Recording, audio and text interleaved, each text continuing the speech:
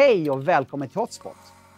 Idag ska vi samtala om det socialdemokratiska partiet och vad vår gäst tror att partiet är på väg. Socialdemokraterna har innehaft den större delen av regeringsmakten under de senaste hundra åren. Partiet har under dessa hundra år format stora delar av vårt samhälle och fortsätter att göra så, inte bara genom sitt regeringsinnehav, men också genom att många socialdemokrater sitter på många kommandohöjder inom de svenska institutionerna. Jag ska samtala med den tidigare socialdemokratiska riksdagsmannen Vidar Andersson. Vidar är idag ansvarig politisk redaktör på Norrköpings Folkblad. Välkommen att ta del av vårt samtal. Hej och välkommen till Hotspot, Vidar Andersson. Stort tack för att jag får vara här. Mm. Eh, jag tänkte att vi ska tala om Socialdemokraterna och var det partiet är på väg. Du är ju en gammal socialdemokrat, du har suttit i riksdagen. Eh, men jag kan också tycka att du är lite, har varit lite banbrytande eller gått lite din egen väg. Du har ju varit med och föreslått Hassela-kollektivet. Du har ju varit eh, ordförande för Friskolans riksförbund. Eh, du har samtalat en hel del med Sverigedemokraterna, inte haft den här beröringsskräcken. Och jag tänkte att vi ska ha ett program idag som är lite mer tidlöst kring mm. Socialdemokratiska partiet. Vi är ju valtider och jag vill inte ha hit en politiker, för då blir det mycket floskler kanske. Um, och vi har ju haft en del gäster här som har varit ganska kritiska till Socialdemokraterna mm. och jag vill prata, inte om dem, utan med dem idag. Därför vill jag prata med dig. Mm. Om det här partiet som är partiet med stort P nästan i Sverige, som varit solen som allting har kretsat kring. Um, jag ska fråga dig först, varför blev du socialdemokrat? Mm. Ja, du, eh, det är genom, eh, genom min uppväxt. Alltså mm. Jag uppväxt i ett väldigt socialdemokratiskt brukssamhälle, Olshammar, Aspabruk. Mm. Som verkligen var socialdemokratiskt. Vi hade inga kommunister alltså bland arbetarna. Alla i princip var socialdemokrater. Och sen var det som det skulle, halvcheferna var folkpartister och eh, disponenten då mm. var högerman, moderaten, och bodde högst upp på kullen. Alltså det var klassamhället i ett, eh, ja, i väldigt bokstavlig mening. Och ehm, ja, det var inget det var inget att fundera på. Alltså, jag har egentligen aldrig funderat på det förrän i, i vuxen ålder. Mm. Alltså, man, man växte in i det. Det var inget tryck, vi hade inga valrörelser nästan. Det behövdes ju inte för alla Nej. var ju socialdemokrater. Minns på 60-talet då när, när KDS bildades, då fick de två röster. Det var Henry och Klara Lindqvist. De var mm. brevbärare och, och missionsföreståndare. För. Jag menar, så, så var det med, med de valhemligheter om man säger så. Utan... Alltså man, väldigt, man identifierar sig själv med sin plats i samhället med ja. olika partier. Då. Ja, ja. ja. jag minns ju själv när jag växte upp 70-talet. Då hade jag liksom en bild på Olof Palme på väggen. Ja, och sen så gick jag med SSU ett tag. Mm. Liksom, det var så självklart, man reflekterar inte ens över det. Nej, i, stora, i stora kretsar gjorde man inte det. Kan man säga. Alltså jag är född 55 och då var ju fortfarande de röda bruken man talade om, alltså var ju i full kraft. Så att säga. Mm. Industri, industrifolket och det var ju så, man, vi gick eh, nio år i grundskolan, kämpade sig igenom det, men det var ju egentligen bara för att sen kunna gå ut och jobba på fabriken och sen mm. när man blev äldre kunna gå på skiftet. Mm. Men Idag då? Idag är det ju annorlunda. Många har gjort, många kan göra det. är lätt att göra en klassresa. Eh, folk är kanske mer politiskt medvetna på ett sätt. Det är inte liksom såklart vad du ska vara utifrån identitet. Mm. Eh, vad får folk att rösta på Socialdemokraterna idag? Är det gammal hejd och ovana för att ens föräldrar är sossar? Är det för att det finns politiska visioner man sympatiserar med? Eller är det någon sorts trygghet med att det här är regeringsbärare partiet? Eller har varit det väldigt länge. Ja, det finns naturligtvis många olika ja. ingångar och många bilder av socialdemokratin. Mm. Jag kan inte tala för alla. Mm. Men jag skulle nog säga att det dominerande är nog att, att, att det är regeringspartiet. Att det är en eh, trygg hamn. Mm. Och, eh, och som visserligen då, fast det, det, går ju inte folk som är unga nu och tänker på att det socialdemokratiska partiet har ju gradvis, så att säga, sedan 70-talet har man ju gått neråt alla andra partier de guppar ju lite upp och ner, så moderater och centerpartister de kan vara stora, kan vara små under hundra år. Mm. Socialdemokraterna växer fram till 76-77 och sen så börjar det gå neråt. Och det är ju när samhället, samhället förändras, vi flyttar in mer till städerna, vi, vi får högre utbildning och eh, det finns en mängd andra arbeten än industri och grovarbete. Mm, mm. Och utveckling och Mm. begåvningsreserven jag menar, är inte förtryckt längre i arbetarklassen. Mm. Den kan gå in på universitet och högskolor och hela samhället förändras. Så, så väljarandelen för Socialdemokraterna har ju sjunkit. Och många av de som kanske kommer från arbetarfamiljer, som du säger, går på universiteten, får bra jobb, startar egna företag, skapar sig en identitet. Ja, precis. Och Mm. en, en, en hel del av dem är ju bara säga, socialdemokrater på något sätt. Mm. Alltså, man ska komma ihåg det att det, det svenska samhället är fortfarande marinerat i socialdemokrati. Mm. Alltså i det sättet att se på saker och ting. Att se på eh, jämlikhet, eh, att se på att det inte ska vara för stora klyftor och så vidare. Det går djupt in i, i, i borgerliga led. Alltså det går djupt in i de allra flesta partier sk- sk- skulle jag vilja säga. Kan jag vara så provocerad att säga att vi har åtta färger av socialdemokrati i riksdagen, eller? Ja, alltså mer eller mindre. Man kan säga att eh, man bryter sig ju man bryter sig ur, men om man tar den tidigare största utmaningen för Mm. Socialdemokraterna var ju med Alliansen under Fredrik Reinfeldt. Väldigt, väldigt skickligt. Mm. Alltså man bygger upp offentligt två år före valet och slipar av sina kanter, diskuterar, gör det väldigt bra. Men alltså, huvudfåran där är ju Reinfeldts ord att eh, allt som Socialdemokraterna vill göra ska vi göra mer av. Mm. Jag menar, det, det är ändå så att man, man bryter inte, man går inte på tvärs. Mm. Det brände man sig förut, man skulle liksom göra systemskiften och sånt där och det faller inte god jord. Mm. Sen gjorde alliansregeringen vä- vä- väldigt mycket ändå. Jag menar, man sänkte skatterna rätt mycket på arbete, man förändrade bidrags och ersättningssystemen för de som inte arbetar ganska mycket. Så man gjorde ju grejer, det var inte att man bara gick och lalla. Men alltså det yttre så här, Mm. när man talade, vad, vad är det vi ska göra? Mm. Så var det någon variant av socialdemokrati. Mm. Jag tänkte, jag, jag växte ju upp på, eh, när jag var ung, så att säga, 70-80-talet, så, så eh, hörde jag ofta då Ingvar Carlsson säga, eller i princip alltid när jag hörde han tala Mm. i riksdagen, så alltid vi socialdemokrater. Ehm, och när man blir lite äldre så kan jag tänka, det där var ju en mytbildning man byggde upp. Alltså det var ju inte socialdemokrater som influerade. Det är, alltså det är en sanning modifikation, stor modifikation. Modifikation. Ehm, man har ju format Sverige, definitivt. Men vad som har byggt det goda Sverige med hög levnadsstandard, hög utbildningsnivå, lätt att göra klassresor, det, det, det går ju ända tillbaks till ja, hundratals år tillbaks, reformationens utbildningsideal, våra stora naturresurser. ehm, vi har många eh, reformer som sker på 1800-talet. Vi är inte med i kriget och är sönderbombade. Mm. Men Socialdemokraterna tar väldigt mycket äran åt sig att de har byggt det goda Sverige och många kanske har köpt den bilden och röstar på Socialdemokraterna för det. Ja, det skulle jag tro. Och det, är- det är därför, jag menar, du sammanfattar väldigt väl tycker jag, varför so- socialdemokratin alltid är så angelägen om att vilja regera. Även om villkoren eh, som nu har på senare år här inte har varit så muntra, det vill säga man har fått bygga underliga majoriteter och avtal och överenskommelser. Men ändå så är det alltid en socialdemokrat i toppen. Och ehm, då sätter man bilden av, bilden av samhället också. Och sen kan man säga så här att att socialdemokratins stora del som jag ser på världen här, det är ju att man tidigt förstod så att, säga, att lägga ja, ideologin i den meningen, bild, bilder av verkligheten. I, i, ideologi betyder ju det, bilder av verkligheten. Man lade det åt sidan redan på 40-talet, strax vid krigsslutet där, och började, började bygga ett annat Sverige där man insåg vilka är de välståndsbildande krafterna. Jo, näringslivet, man brukar säga Wallenberg då, men alltså finanskapitalisterna, de svenska, och LO och partiet.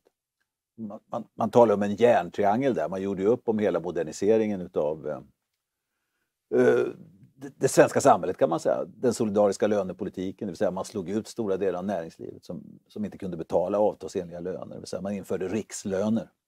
Man kunde inte ha lägre löner någonstans för att det var fattigt eller för att man hade dålig produktivitet.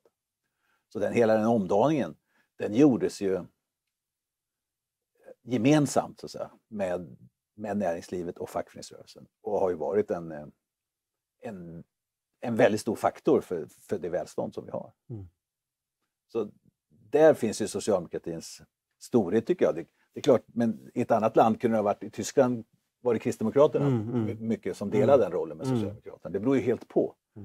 I Sverige blir det Socialdemokraterna som hamnar där i den positionen, stort parti och ville göra det så bra som möjligt för löntagarna. Och, eh, och då måste man göra det så bra som möjligt för hela samhället och då, då behöver man samverka. Mm. Och den insikten Mm.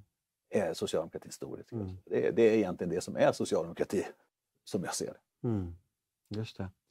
Ehm, om vi går tillbaks till eh, den här identifikationen då och, och vilka, varför man röstar på Socialdemokraterna idag så kom SCB ut med ganska färska siffror här där det var vad var det, 48,7 procent tror jag de utrikesfödda skulle rösta på Socialdemokraterna om det var val idag och bland de inrikesfödda var det 30,5 Mm. och där får vi kanske räkna in andra generationens invandrare också som då eh, kanske eh, övervägande del röstar på Socialdemokraterna. Mm. Ehm, är det den nya arbetarklassen av idag som det var på då 50, 60, 70-talet? Ja, delvis Mm, kanske. Det är, det är ju det är spridda, det är ju spridda skurar. mm, Men det är klart att du har en, eh, en stor del av människor eh, eh, som arbetar kanske i, i vården, i kollektivtrafiken, eh, på restaurangerna. enkla jobb. Ja, alltså, Mm. en, ja enkla, Mm. enkla. Men alltså, men alltså som, det- där trösklarna inte är så höga för Mm, att, att, komma in på. Och du inte måste ha värsta utbildningen för att kunna mm, göra. mm, Så, så, så det är det. Och sen så Sen beroende på varifrån man kommer i världen, så att säga. men om man, man kommer från ett land där man aldrig har upplevt demokrati och med klansamhälle och man gör som ledaren säger, då, då får man ju reda på att ledaren här, det är en socialdemokrat, det är de man röstar på. mm. Så ytterligare en fördel så att säga av att Och sen har man kanske också en bild att socialismen vill hjälpa den svage. Jag har kommit hit, jag är svag, jag har inte byggt upp en förmögenhet ännu Mm.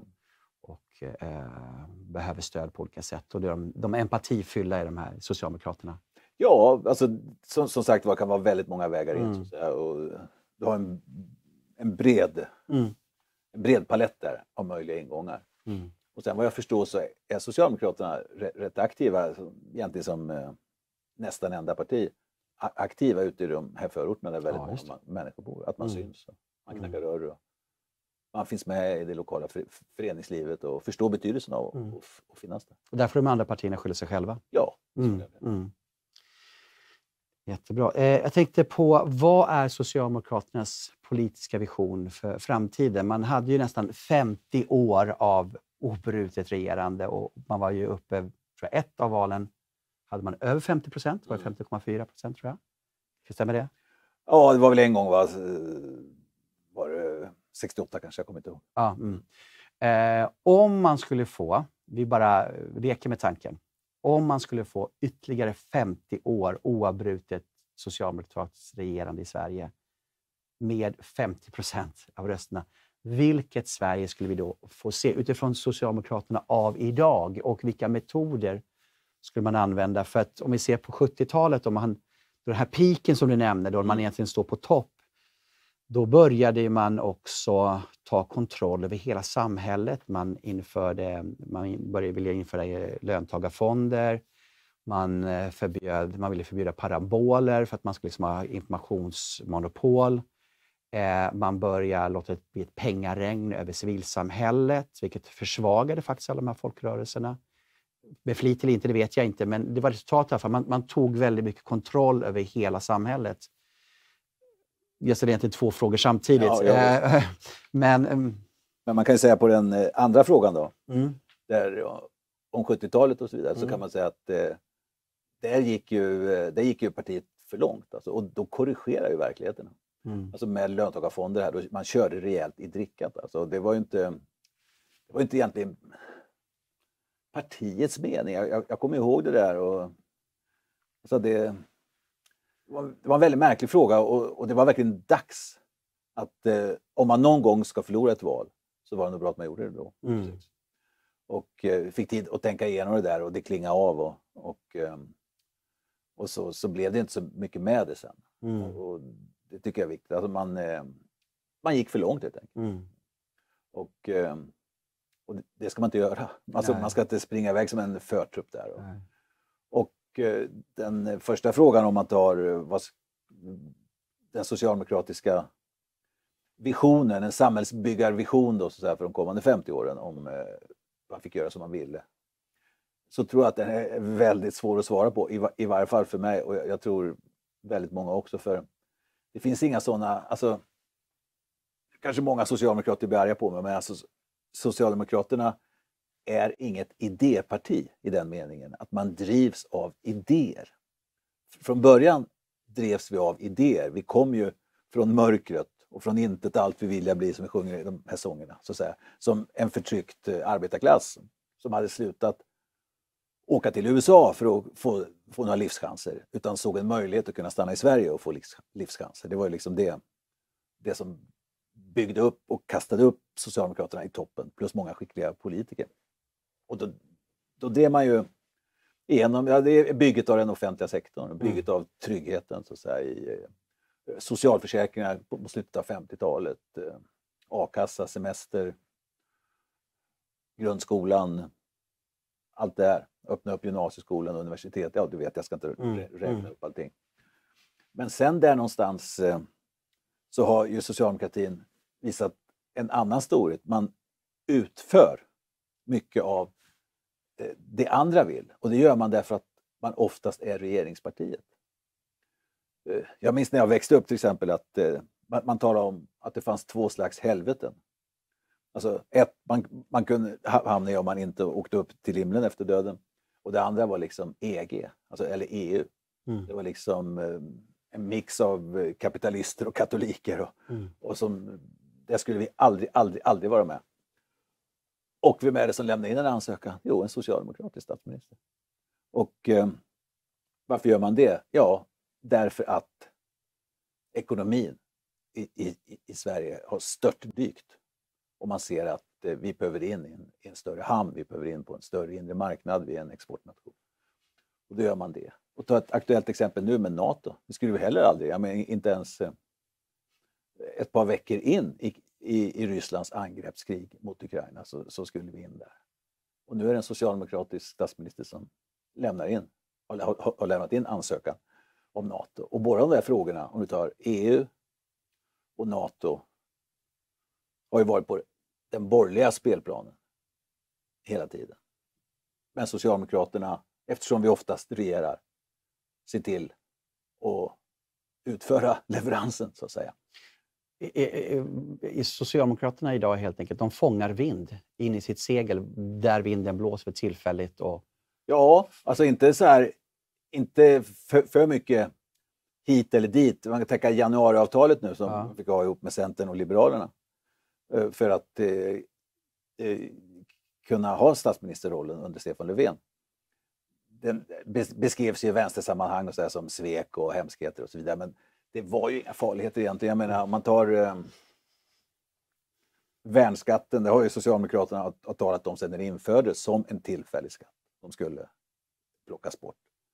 Och det är klart, eh, det var väl inga jubelrop men det var ingen stor sak. Och förändringar av arbetsrätten är ju ganska små och dessutom mm. så fick man till ett stort stödpaket för omställning. Och jag menar, det blev... Eh,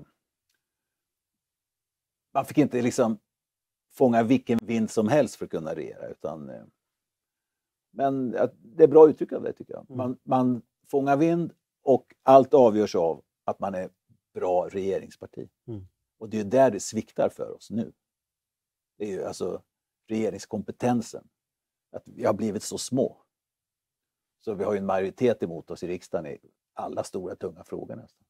Det står och väger just nu. Det mm.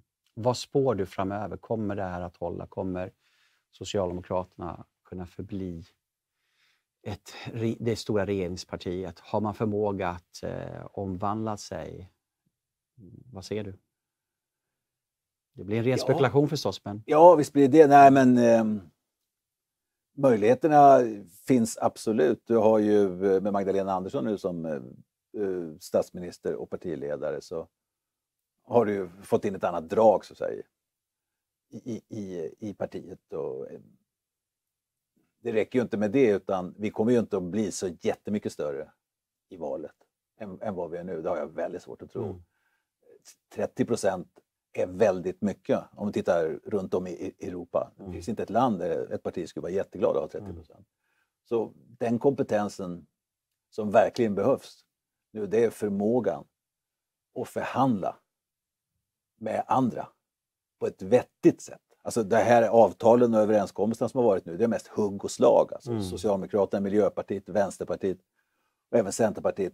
Det är hugg och slag mot varandra hela tiden. Mm. Alltså det är ingen gemenskap. Man säger, nu, nu vill vi verkligen göra det här och det ska vi göra gemensamt. Det är det som är nästa steg för Socialdemokraterna. Och den dagen vi sitter här nu så exempelvis så, jag har inte sett utfallet riktigt men det är uppenbart så att eh, Socialdemokraterna, Centerpartiet med stöd av Vänsterpartiet och Miljöpartiet har förhandlat fram något pensionsförslag. Mm. Alltså som, eh, där Centerpartiet har fått påverka en, en hel del. Och det är det, alltså den kompetensen i så fall. Mm. Att man, eh, alltså, så att man inte bara bildar en regering men inte har någon politik. Nej. Nej. Men, men det här är ju oerhört svårt när du har då Centern som är de mest marknadsliberala partierna i hela riksdagen mm. och Vänstern som är det minst marknadsliberala partiet. Mm. Alltså hur får du ihop det här? Det krävs ju... Det är, det är ju mission impossible nästan. Ja, men det är möjligt. Alltså, vad, vad som krävs det är ju att man, man, måste också kunna leverera på samtidens stora frågor. Ja. Och det är ju, eh, alltså, som är stridiga och som är besvärliga, har, har varit det då för Socialdemokraterna och deras partners de här mm. sista åtta åren. Det är framförallt invandringen och kriminaliteten. Och eh, där har det inte varit bra. Nej. Menar, det ser alla, det har inte varit bra. Och eh, man ska inte skylla allt på Miljöpartiet eller, och, och Vänstern och, och Centern utan det är också Socialdemokraterna underpresterar. Och, eh, men det är det som är det stora testet nu. Mm. Om jag får så här, vart gick det snett när det kommer till kriminalpolitiken och invandringspolitiken?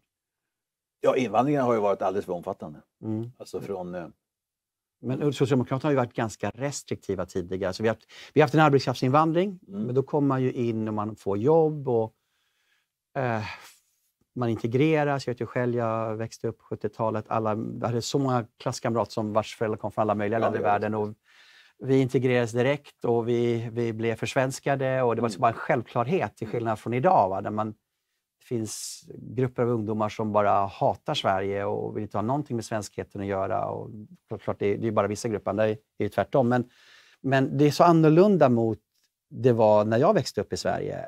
Vart på vägen gick det snett? Vi har liksom Lucia-beslutet som Ingvar Carlsson tog. är väldigt annorlunda mot idag. Ja. Nej, men alltså, det fanns ju en insikt. Och det finns det inom socialdemokratin, ska jag säga, i, i varje fall de partier som jag i norra Europa i varje fall. Och det är väl där socialdemokratin finns egentligen. Och eh, det är alltså en insikt om att välfärdsstater som bygger på hög beskattning och på många bosättningsförmåner, alltså du har förmåner för att du bor här. Eh, de, de, de fungerar alldeles utmärkt med arbets, arbetskraftsinvandring. För det normala med arbetskraftsinvandring är att invandraren som arbetar, arbetar oftast mer än svensken. Därför att man har ett större intresse man vill ha mer pengar, man vill etablera sig kanske eller man vill spara pengar för att flytta hem igen. Eller oavsett vad det är för motiv så jobbar man stenhårt. Man har mycket ambitioner. Ja, mycket ambitioner. Mm. Och eh, när du då får en, eh, en stor invandring av människor som också från fjärran regioner, som inte om du tar forna Jugoslavien i början på 90-talet. Det gick ju väldigt elegant, mm. får man säga. För det var ingen större skillnad. Alltså, städerna såg ut ungefär likadant och universiteten och bussar. Alltså man levde, alltså, i städerna i varje fall, ungefär likadant. Mm. Eller de som kommer från Ukraina nu. Många mm. Man tillhör en västerländsk eh, kultursfär. Ja, och det är mycket lättare. Ja. Men, men kommer du långt bort ifrån... Europeisk. Mm. Ja, ja, visst. Så eh, blir det annorlunda. Och, och, och, särskilt då, vi har inte den arbetsmarknaden. Vi har inte den att du bara går in och, och gör ingenting. Den, den finns ju bara svart. Och den är nog ganska omfattande skulle jag tro. Men eh, annars så blir det, det blir jätteproblem. Alltså det, jag, jag, jag, tänker ofta på USA mm. som, var ett, ja, som byggdes upp utöver sin egen ursprungsbefolkning. Så byggdes upp av invandring från Europa. Och eh, den, ungefär runt 1920 så eh, slog man ju stopp och sa man egentligen stoppa all invandring. Och det höll ju nästan i 50 år. Mm. Och det är de åren som USA blev liksom landet av mjölk och honung. Mm. Drömmarnas land. Och eftersom, eftersom arbetarna som hade kommit då, från Italien, Sverige, överallt, då fick en chans att kunna etablera sig. Mm. Och inte ständigt behöva konkurrera med nya som kommer och är beredda att jobba för en halv dollar när du precis har fått upp lönen till en dollar. Det är då det började byggas. Det kunde ha, man byggde skolor och man fick upp ekonomin. Och, ja, USA byggde starkt och demokratiskt. Och sen kunde man släppa på det igen. Så att säga. Och vi står någonstans där i Sverige också. Alltså, det är långt över en miljon människor i vuxen ålder alltså som är friska, som inte arbetar fast de är i arbetsför ålder i, i lilla Sverige. Men vidare, vart gick det snett? Vilk, vilka var med i processen att släppa på den här strikta synen? Fokusera på arbetskraftsinvandringen? Eller vilka faktorer i, i omvärlden eller i samhället? Ja, arbetskraftsinvandringen ströps ju då när, när tillväxten började knacka av, alltså Mm. rekordåren började knacka av. Och, och då var ju framförallt fackföreningarna som vände sig till den socialdemokratiska regeringen och sa att vi, finns det jobb här så bör de gå till folk i Sverige. För det börjar bli Vilket årtal talar du om? 90-talet eller? Nej, 80-talet? 70, 70. 70-talet? Ja. Mm. bör- början på 70 där och då, fick vi, då, då genomförde man sån här arbetsmarknadsprövning. Och eh, sen luckras det upp eh, gradvis ska jag väl säga, men alltså den stora problemen, eller den stora porten, den öppnas ju eh, när Sverigedemokraterna kommer in i riksdagen. Man kan tycka att det är paradoxalt, men det är liksom då det händer. Mm. Eftersom både Moderaterna och Socialdemokraterna springer iväg åt helt andra hållet. Alltså man lämnar den politik som man har styrt Sverige med sedan 50-talet. Det vill säga en begränsad invandring. Man ska inte släppa anden ur flaskan. Jag minns när jag gick såna här eh, studier i, som ung socialdemokrat. Kommunalpolitisk A-skola som det hette. Brevkurser. Så var invandringen med som en liten del. Helt o- odramatisk. Alltså att den, den, den måste hållas på, eh, på låga nivåer. För man, man, man ser att det, det utmanar. Det, det finns en, eh, främlingsfientlighet eller främlingsmisstänksamhet latent i befolkningen. Så vill man hålla ihop sa- samhället och så vidare, så vi ska vara solidariska, men inte för många så att de kan integreras och så att det inte utmanar de som arbetar hela tiden och betalar skatt och sånt. Och då släppte man det.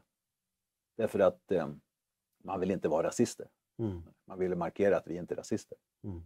Och, eh, och gav hela arenan till Sverigedemokraterna. Mm.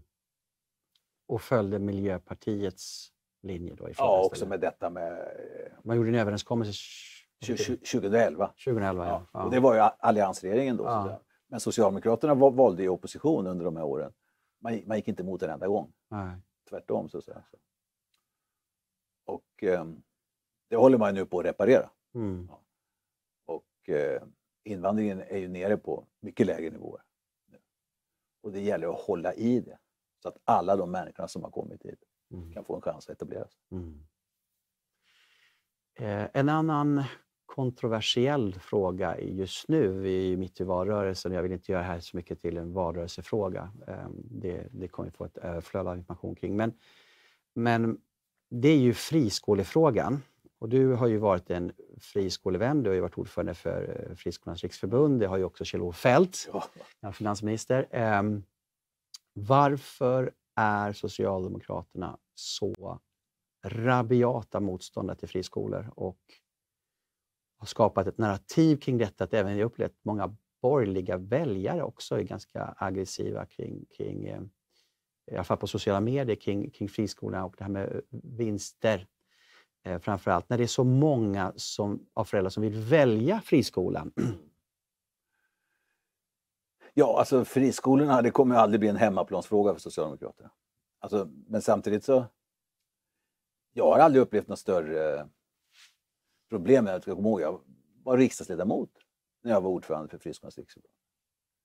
Eh, jag var sakkunnig eh, som, under tiden där hos statsminister Göran Persson och så vidare. Man såg inte det som något, att man skulle vara utstött eller mobbad eller någonting sådär, utan som ett, ja, ett intresse så att säga, i den mm. socialdemokratiska paletten. Någonting sånt där.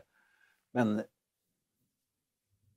någon hemmaplansfråga blev det inte och det var ju därför att det var ju Moderaterna och man kan säga Svenskt Näringsliv, eller SAF då, som hette på den tiden, som, som var de stora påskyndarna för att eh, bryta upp. Vi hade ju det här med de, de första förskolorna och man, försökte, man ändrade lagar där under Palme, Palmeregeringen och, för att och få bort valfriheten att man kunde starta. Och det, ja, det var stridiga år i början där och, och sen kom den här eh, friskolereformen då, 92 tror jag riksdagen fattade beslut och, eh, och sen dess har Socialdemokraterna varit emot. Men alltså man har inte gjort någonting. De, det har ju funnits chanser att rätta till problemen. Mm. Och när jag var ordförande för friskolorna, jag, jag, jag, tog upp många, många kritiska synpunkter. Det var alldeles för lätt att starta skola. Jag såg ju folk som knappt kunde stava, skrev på en lapp och lämnade in och fick starta skola. Inga pengar, ingen pedagogik, ingen kunskap. Eh, betygssystemet eh, måste ju vara statligt ordentligt och de nationella proven, massor har diskuterats i hur många år som helst. Och det satt ju en friskolekommitté. Jag tror Lars Leijonborg var där och andra och då var man nästan överens om väldigt mycket. Så jag vet inte jag exakt varför det sprack men hade man gjort det här, det var för cirka, cirka tio år sedan, så hade vi haft ett, ett bättre läge. För det finns ju saker och ting som behöver rättas till. Så man, man ska ju inte... Eh, menar, har man ett system, och ursäkta språkbruket nu, alltså där man kan tjäna pengar på skit, mm. då kommer en del att göra det. Mm. Och ett sådant system har vi haft. Nu är det, nu är det väldigt, eh, väldigt mycket bättre. Men just när det gäller betygssättning, en del av de här köerna blir absurda. Och man borde ha gemensamma köer till exempel. Och eh, man kan inte lyfta vinster om man får anmärkningar av Skolinspektionen. Till exempel. Men det finns en hel del som behöver göras. Du vill se en del reformer för att göra friskolorna mer sunda då? Eller? Ja, absolut. Mm. Men det är liksom eh, sett till eh, skolproblemet, mm. eller kunskapsproblemet i Sverige, så är ju friskolorna en enorm tillgång. Mm. Alltså de, eh, väldigt många av de här stora fyra koncernerna och många andra småskolor, också enskilda skolor, de, de flesta har ju bara en eller två skolor av mm. Är ju jätteduktiga. Alltså levererar kunskap och kvalitet och framtid för Sverige. Mm. Så, men eh, man ska inte ha ett system med mer eller mindre fria dragningsrätter eh, nere i, i skattkistan. Mm, mm. Eh, jag skulle fråga lite grann om den politiska kompetensen i socialdemokratin. Man kan ju ha lite olika kompetenser. Det finns ju en kompetens att eh, kunna beslutsprocesser, att få igenom politiska beslut, att det finns en skicklighet, där själva hantverket det finns en kompetens för enskilda människor att kunna ta sig igenom en organisation och komma upp till toppen. Det är en form av kompetens som gör att man kanske blir minister. Ehm, det finns ju en form av kompetens som efterfrågas idag, en väldigt medial tid, det är ju att gå igenom rutan. Ehm, och så finns det kanske en kompetens, där tror jag vi vanliga människor egentligen mest efterfrågar och det är kompetens kring kunskap i frågan, ledarskapsförmåga att genomföra reformer som blir bra för alla medborgare. Eh, jag tänker liksom, vi kanske aldrig mer kommer få en Bosse Ringholm i Socialdemokraterna för han är så träig, mm. men duktig på sitt jobb. Um, vad, vad, vad, säger du? Du får gärna kommentera rent allmänt om politiken, men jag skulle vilja fråga om socialdemokratin. För många upplever att många ministrar inte är duktiga och lyckas i sitt, på sitt ans, sin post. Vi har haft en missförtroendevotum mot Morgan Johansson, väldigt stort missnöje kring honom. Um, tycker du att kompetensen i socialdemokratiska ledningen sjunker? Att man inte lyckas få fram riktiga stjärnor? Och då menar jag inte på det kommunikativa eller politiska processen, utan just det här sakkunnig, duktig och förbättra, förbättra för Sverige. Mm. Nu har vi ju så dels har vi en stor riksdag mm. och, och, det, och har vi en väldigt stor regering också. Så jag, jag får säga, även fast jag följer politik och diskuterar och, och, det är liksom det roligaste jag vet, så, så tror jag inte att jag, jag, klarar att räkna upp alla statsråd som vi har. Alltså, många förblir av naturen anonyma. De kanske är stora i sina branscher eller sektorer och kan ha ett väldigt bra namn där och då är det ju ett kvitto på, på kompetens. Men en del andra, det här med att gå genom rutan, det är ju livsfarligt. Ja. Alltså, och det, jag tänker vår eh, bra karl, men vår el och energiminister är ju kommunikativ och går genom rutan. Men han, han borde nog ha satt sig en 8-10 veckor och verkligen satt sig in i de här el och energifrågorna ordentligt och sagt det utåt att det är det jag kommer att göra istället för att snabbt gå ut med väl enkla one-liners och så vidare. Va? För verkligheten, den korrigerar. Mm. Det, det, det, kan ta sin tid eller någonting sånt där men, men eh, hellre då vara träig och få något gjort och så vidare. Va? Och, eh, vet inte, jag, jag, tänker på en sån som eh, den nya bostadsministern, Johan Danielsson. Till exempel, som kommer från EU-parlamentet det är en sån person, alltså, det hänger ju ihop. Där verkar det som om Socialdemokraterna nu äntligen ska jag säga, börjar intressera sig för det ägda boendet igen. Jag menar, en viktig del när jag, när jag växte upp och fortfarande av rörelsen var ju HSB och Riksbyggen alltså som framförallt har bostadsrätter. Och alltså det ägda boendet och man sparar till det, ordning och reda och, och så. Och, eh, men det har ju socialdemokratin totalt ignorerat under många år. Det bara varit Hyresgästföreningen och hyresrätt, hyresrätt, hyresrätt. Alltså det dyraste sättet att bo för en fattig människa. Mm. Då har man egentligen, bo i hyresrätt, då ska man ha, ha, ha det bra nästan. Alltså de här mm. nybyggda. Mm, mm. Det är inget, utan det ägda boendet ger en chans att, att kunna bygga ett litet kapital också. Ja. Och det verkar som om Johan Danielsson visar ett större intresse för det. Har öppnat upp där. men det betyder också att han har Magdalena Anderssons, alltså regeringen då om man säger så, intresse av att göra så. så det är en kombination där.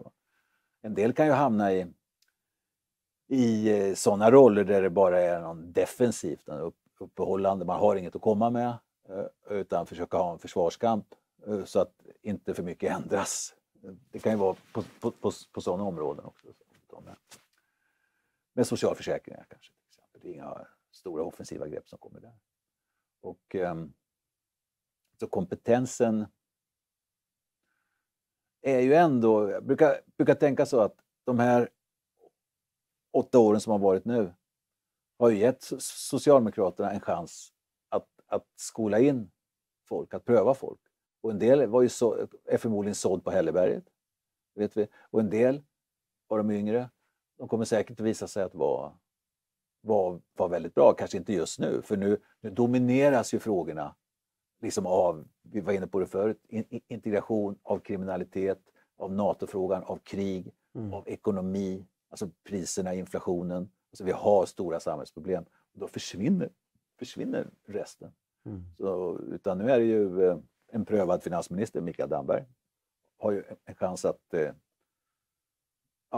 att kröna sitt verk med en stor insats om det skulle bli Socialdemokraterna även efter nästa val. Mm. Alltså, för då kommer ekonomin de ekonomiska problemen de kommer säkert att vara i fokus på ett helt mm. annat sätt. Och då behövs ju de som kanske var samhällsbyggare. Menar, du nämnde ju tidigare att man var med och gjorde olika reformer, man ja. nådde fram och sen har vi liksom glidit i ganska mycket solsken. Mm. Men nu är det återigen kriminaliteten, mm. vi har en hög arbetslöshet, många som inte, eller inte hög arbetslöshet, men vi har många som inte jobbar. Ja. Eh, vi kanske går i väldigt svåra ekonomiska tider. Då behöver de här samhällsbyggarna komma tillbaka igen och inte bara de som går genom rutan utan mm. verkligen kan, eh, kan göra bra reformer för landet. Ja, precis. Och där är ju... Eh, eh det är där vi prövas nu mm. Kommer att göras. Alltså Sverige som land och också Socialdemokraterna som eh, det stora samhällsbärande partiet och regeringspartiet. Och om det liksom ska hålla. För nu har vi igen väldigt stora allvarliga problem. Mm. Och Sverige har ju annars varit, om du så säger, inga inbördeskrig, inga krig. Rekordåren här var ju sensationella efter andra världskriget och så vidare. Så vi har ju varit en uppbyggnadsfas. Mm. Vi gick igenom en eklut i början på 90-talet då. När vi fick släppa vår uppblåsta valuta, byta mm. ekonomisk politik. Men då tillsatte man ju en, det gjorde ju regeringen Bildt och Socialdemokraterna hade inga invändningar. Så att säga, Lindbeck, Lindbeckkommissionen och, och mycket raskt la fram stora omfattande reformer som genomfördes nästan allihopa mm. av de av stora grejer i den ekonomiska politiken, alltså utöver EU-medlemskapet som la grunden för, alltså med beskattning, med friare kapitalrörelser med allt det här som la grunden för 20 år av välstånd. Men nu har vi nya problem. Alltså vi har en eh, som vi har varit inne på några gånger och, och det är en helt annan utmaning. Mm. Då krävs det någonting annat. Mm. Eh, jag tänkte komma in lite grann på Socialdemokraternas väljarbas eh, och förhållande till, i det här då till andra partier också, eh, både gamla och nya. Eh, och det första som jag tycker är kanske är då självklara frågan, det är ju förhållandet till Sverigedemokraterna. Mm. Eh, många socialdemokratiska väljare, sverigedemokratiska väljare har varit socialdemokratiska väljare. Och eh, Socialdemokraterna har ju haft en retorik där man velat pestförklara Sverigedemokraterna. Eh, och då kan man ju undra, vad har de haft för väljare då, då som gillar Sverigedemokraterna? Så det är ju ett underbetyg av sig själva också då i, i den pestförklaringen. Eh, jag vet inte hur du ser det, men jag kan se det nästan som ett tvillingparti. Va? Så att Sverigedemokraterna är Socialdemokraterna 1.0 från 50-60-talet och Socialdemokraterna idag är Socialdemokraterna 2.0 plus identitetspolitik. Jag vet inte om du håller med mig i den beskrivningen, men hur ser du förhållandet kring eh, Socialdemokraterna och Sverigedemokraterna och den väljarflykt som har varit? Ja, det är en sak som, eh, det är en sak som ställer allt på kant. Mm. Och, um, om du tar socialdemokrater i min generation mm. och med min uppväxt och så vidare. Okej, okay, jag vet att det är många, jag känner många som har gått till Sverigedemokraterna, men ändå att det är ett annat val. Så har de förklarat för mig. Jag menar, jag, alltså att gå, om man säger till Moderaterna, att gå till höger, som socialdemokrat man har varit i, i, i 50-60 år. Det klarar, alltså, ja, jag, jag skulle inte klara av det. Mm. Man skulle se hela släkten ligga och snurra i gravarna. Du vet, nej, det skulle inte gå. Vet du, va? Men vad många har sagt till mig, att däremot att gå till Sverigedemokraterna, det, var då, det är väl ingen, det är ingen borgerligt, säger de. Det är bara, jag, jag tycker inte om invandringspolitiken som vi för. Och de har helt rätt i det, alltså, för Sverigedemokraterna är inget borgerligt parti. Och Socialdemokraterna är inget borgerligt parti. Så de partierna är mer lika. Mm. Och med borgerligt menar jag den ekonomiska politiken, synen på skatter och socialförsäkringar och sånt. Så, det man, alltså, det är en sån här, um, ska dra in Freud i samtalet, men mm. alltså när man ser något hos någon annan som liknar väldigt mycket sidor hos en själv och som man kanske inte är så vackra men som man vet är framgångsrika mm. för, att, för, att, få väljare. Det är då kommer de hetskaste angreppen. Alltså, och därför har det varit sån oerhört hets mot, eh, eh, mot Sverigedemokraterna. För Sverigedemokraterna ger sig ju in i LO-leden. Utöver att man är väldigt stor i företagarleden så ger man sig in i arbetarleden och har tagit väldigt mycket socialdemokratiska väljare. Mm. Jag vet, Göran Persson brukar använda uttrycket att eh, Socialdemokraterna har parkerat en del av, en del av sina väljare i mm. Sverigedemokraterna. Mm. Och, eh, så det är, det är väldigt lika partier. Jag tycker det är oerhört intressant. Alltså för, det finns många beröringspunkter. Mm. Du verkar ju lite nyfiken på så Sverigedemokraterna. Ja, verkligen. Jag ser att du, är, du går till Riks och blir intervjuad dem. Du eh, verkar väldigt nyfiken när du intervjuar Jimmie Åkesson. Eh, du har inte den här beröringsskräcken. Hur kommer det sig? Ja, jag vet inte, men alltså jag har... Eh, I, i, i, det, I det perspektivet så, så, tror jag man kan säga att jag är nog en ganska trygg person. Alltså jag, jag behöver inte hålla avstånd mot, eh, mot andra partier eller politiker eller mot människor man från början tycker är lite konstiga. Utan jag är mer nyfiken än rädd. faktiskt. Och, eh, och inte minst i det här när man, när man ser eh, när man ser många sverigedemokrater. De hade en sån här kommundagar i Norrköping för några år sedan. 1400 människor. Och hela den här skämmasfaktorn är helt borta. De gick på stan, vet du vad, de, jag kände igen många lite gamla ombudsmän och så vidare. Tjena Vidar, tjena, och du vet som mm. från förr. Och, eh, och, och sen i ett hörn då några moderater, för Moderaterna har också levererat mm. många. Lite mer med klubbläsen yes. och att de har varann i ett hörn. Så, så, så det är en väldigt spännvidd. Men ja, partiet består i huvudsak av socialdemokrater och mm. moderater. Mm. Och soffan, de har ju bidragit till att folk går och röstar. Mm. Är den gemensamma nämnaren att man vill inte förlora det gamla Sverige? Eller? Är det den gemensamma nämnaren? Ja, det, den finns väl där, så att säga, men det... Ja, vad ska jag säga? Alltså, det är inte så att... Jag, jag skulle inte säga att man är någon bakåtsträvare. Alltså, det är inte ett nostalgiskt parti, eller? Ja, nostalgiskt, det kan, ja. Man, det kan man säga, men det kan du ju vara i... Eh, du kan ju sakna en anda från mm. förr. Du kan sakna liksom en eh, sammanhållning, upplevd eller ja, på riktigt eller inte. Eller du kan en viss samhällsstruktur, en viss ordning på gatorna, en viss, du vet, alltihopa det där. En anda mer eh, från förr, från ett samhälle man tyckte var bättre. Vilket inte betyder att man tror att man kan återskapa de formerna igen. Men eh, ja, det, kanske, det finns det säkert de som tror, men överlag sett. Så att eh, få att eh, ja, den svenska normen ska hävda sig bättre. Det är det man tar, tar med sig in i framtiden som ja. kraft? Då, eller? Ja, ja mm. visst. Mm. Och, det, och där, jag menar, det där är ju en viktig nerv för Socialdemokraterna. Mm. Mm. Och, eh, jag ser Magdalena Andersson, statsministern och partiledaren, hon återkommer ofta till det där. Att, mm. Senast häromdagen i en intervju i Dagens Nyheter att, att ja, vi har varit lite dåliga här och alla, vi ska vara ett brett stort parti för alla, för alla som arbetar och gör rätt för sig. Mm. Man, alltså, man trycker hårt på detta och det är ju ett grundläggande drag. Alltså, du har ju en arbetarkonservatism mm. som är betydande, eller som var betydande. Den, den, är inte alls lika stor i, i Socialdemokraterna nu för tiden som den var för 40-50 år sedan. Naturligtvis. Mm. Mm. Eh, ett annat parti nu som har seglat upp det är partiet Nyans. Mm. Eh, och jag har inte sett några undersökningar ännu kring det, men jag föreställer mig att de kommer plocka mycket socialdemokratiska väljare i och med att deras potentiella väljare verkar, nu pratar jag väldigt osäkert här, du får rätta mig då eftersom du är politisk kommentator och redaktör på Folkbladet och kan det mycket bättre än mig, men att man hämtar sin väljarbas från samma områden, alltså som storstädernas förorter. Ehm, man har ju en partiledare som är muslim, så att man anspelar på den muslimska befolkningen. Det här har ju Socialdemokraterna försökt fånga upp den mm. stora eh, muslimska befolkningen, för det är ju liksom ändå ett, ett väljarkapital utifrån deras storlek. Mm. Eh, hur kommer Socialdemokraterna parera det här partiet Nyans?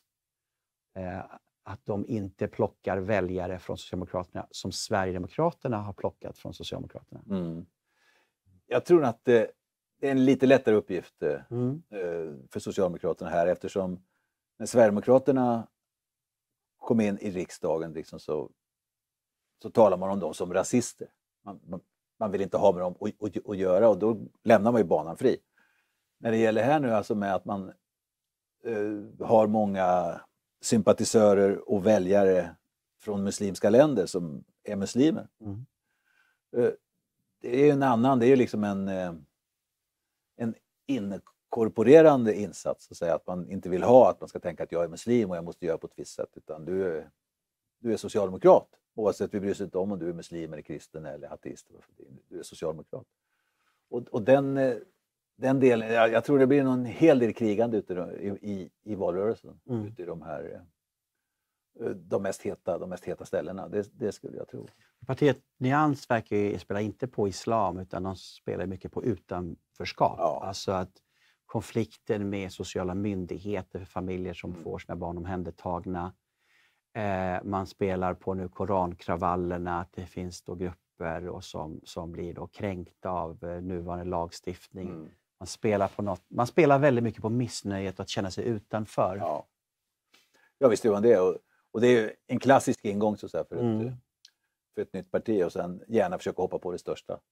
Eller regeringspartiet i alla fall. Och, eh, för på, på så vis kunna få, kunna få uppmärksamhet. Men, men som sagt, det finns ju inga mätningar än. Och, men de förståsigpåare som jag har talat med, som liksom följer opinioner, de räknar med att de kommer att ja, ganska många kommuner i varje mm. fall kunna ta sig in. Till att börja med, så får man ju se sen. Men få tror ju på riksdagen. Just det. Um, jag tänker på uh, den interna dragkampen inom socialdemokratin, vem man ska vara, den socialdemokratiska själen. skulle vilja grann du kommenterar kring vilka grupperingar finns det som drar partiet åt olika håll? Hur skulle vi, vad skulle du identifiera för grupper som finns? Ja, det är väl de klassiska, alltså egentligen fast... Eh, alltså du har ju... Eh, du har ju kommunalråd. Mm. Som ju är en... Eh, när kommunalråden liksom eh, är bra, mår bra eh, och har liksom det bra i sina kommuner och, och kan liksom eh, bygga skolor, göra nya grejer och, och sköta verksamheten så ehm, då mår socialdemokratin bra. Det, det, betyder väldigt mycket. Sen ska man komma ihåg att när man ser på de här olika mätningarna så är det ju man, man mäter, går, det huvudsakligen, går Sverige huvudsakligen åt fel eller rätt håll, de här stora undersökningarna som stora bolagen gör, så är det ju häpnadsväckande skillnad bland borgerliga och socialdemokratiska väljare. Socialdemokratiska väljare tycker att det går väldigt bra. Mm. och det har ju med regeringsinnehavet att göra. Ja. Så den delen ska jag tro är, är väldigt viktig. Har kommunalråden eh, och regeringsinnehavet och synen på det, alltså det, det, dyker alltid upp, men det är en försvinnande minoritet som säger så här, nej nu är gränsen nådd, det är bättre att vi avgår och, och går i opposition och, och slickar såret. Den, den linjen har inte många, inte många företrädare. Nej. Utan maktinnehavet är... Och det tror jag att folk... Så upplever jag i alla fall att vi fick en sån tankeställare och näsbränna, alltså de här åtta åren i opposition under Alliansen. Det visar sig hur oerhört bräckligt vi var. Mm. När, och inget ont om Håkan Juholt, det är en jättefin karl. Han blev minst lika förvånad som alla andra att han blev vald till mm. partiledare. Mm. Eftersom olika delar, det var nog mer vänster och högerdistrikt som jag förstår, alltså Dalarna, Skåne mot Stockholm och, och Norrbotten och andra. Alltså man, mer sådana klassiska motsättningar som blockerar varandra. Mm. Så att man inte kunde välja Damberg. Mm. Och eh, till partiledare, vilket har varit det naturliga valet. Utan då blev det helt plötsligt Håkan Juholt. Mm.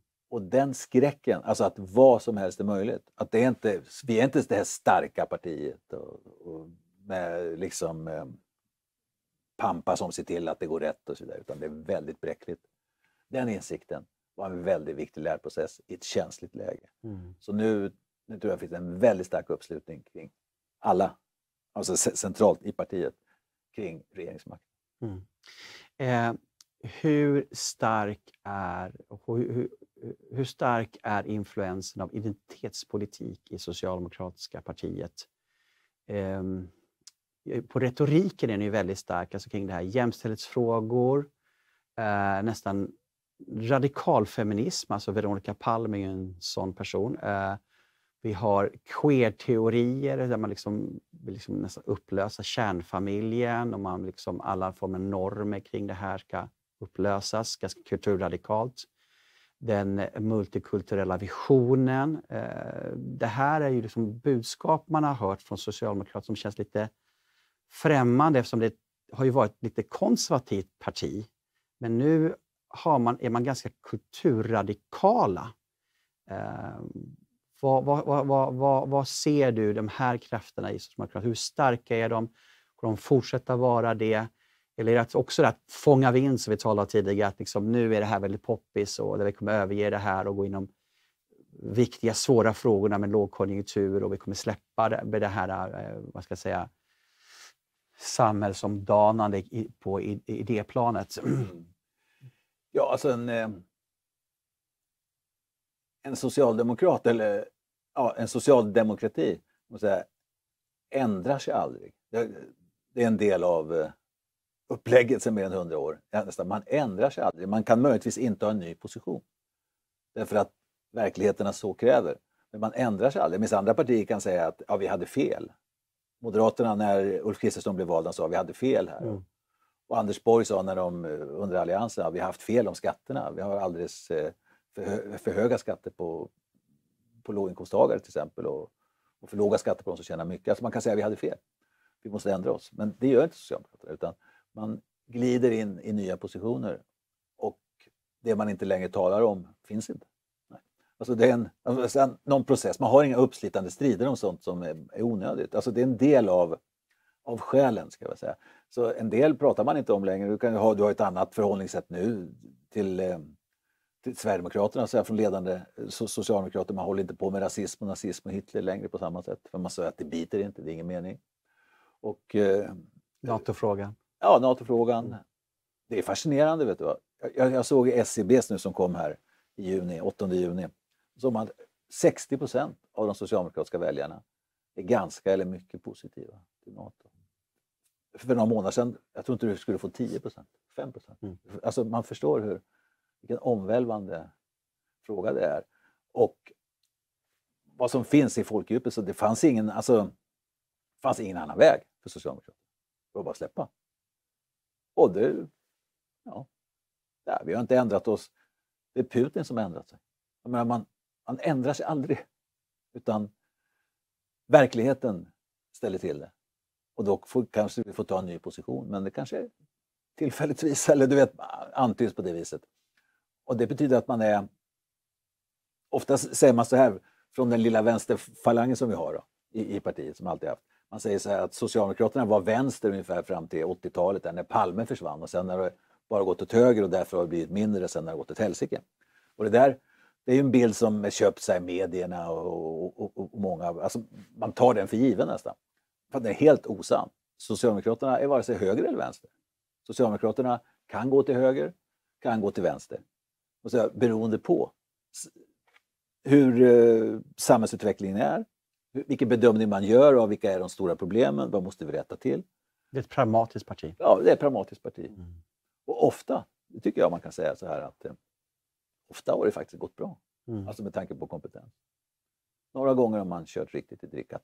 Och nu är, det en, nu är det en svår period för nu har vi allvarliga problem och man undrar sig hur ska Socialdemokraterna få till en majoritet? Mm.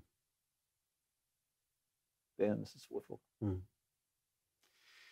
Tack så jättemycket Vidar. Det var jätteroligt att prata med dig om Socialdemokraterna. Du har ju insikter i partiet och vi tackar dig för dina analyser, din kunskap som du delat med oss. Tusen tack, vad kul mm. att vara här. Mm. Tack så mycket. Och tack du som har lyssnat på det här programmet. Om du tycker det är bra så eh, kommentera gärna. Eh, klicka en tumme upp om du tittar på det här på sociala medier. Eller om du tittar på podden eller på TV. Berätta gärna om programmet till andra. Och eh, dela det gärna i, på Facebook eller Twitter. Så. Tack så jättemycket och välkommen tillbaks nästa lördag. Och vi kommer även sända nu från Almedalen där vi kommer ha ett par program där vi direkt sänder. Så välkomna att lyssna på oss också från Almedalen. Ha det bra!